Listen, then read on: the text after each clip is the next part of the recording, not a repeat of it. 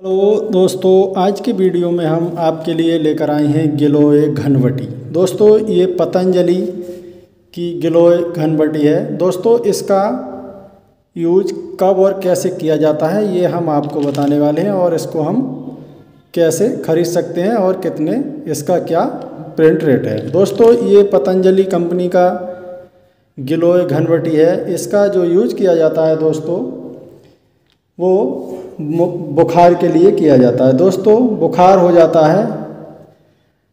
बुखार, जो बुखार काफ़ी टाइम से लगातार बना रहता है और बुखार उतरने का नाम ही नहीं लेता। दोस्तों, उसमें इसका यूज़ किया जाता है।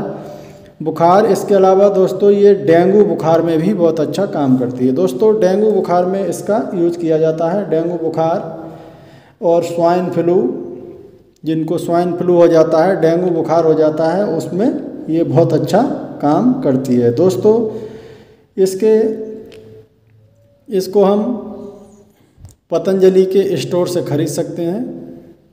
इसमें साठ गोलियाँ निकलती हैं दोस्तों और ये हंड्रेड रुपीज़ की मिल जाती है। दोस्तों, सौ रुपये की ये मिलती है और इसमें साठ गोलियाँ हैं। दोस्तों, पतंजलि ने इसको बनाया, ये डेंगू बुखार और स्वाइन फ्लू दोस्तों, सभी तरह के बुखार में इसका यूज़ किया जा सकता है और ये बहुत अच्छा काम करती है। दोस्तों, ये बुखार में बहुत अच्छा काम करती है, बहुत अच्छी गोली है। दोस्तों, इसके अलावा इसको दूसरी और भी समस्याओं में यूज़ किया जाता है, लेकिन इसका जो मुख्य काम है दोस्तों, वो बुखार के लिए ही है। बुखार को ये जड़ से बिल्कुल ख़त्म कर देती है, बुखार को, म्यादी बुखार को बिल्कुल तोड़ देती है, निकाल बाहर निकाल देती है। दोस्तों, ये बहुत अच्छी टैबलेट है। इसको हम पतंजलि स्टोर से ख़रीद सकते हैं। ये आसानी से मिल जाती है और इसका जो प्रिंट रेट है दोस्तों, वो सौ रुपये है। दोस्तों, वीडियो अगर आपको पसंद आई हो तो वीडियो को लाइक करें और चैनल को सब्सक्राइब करें।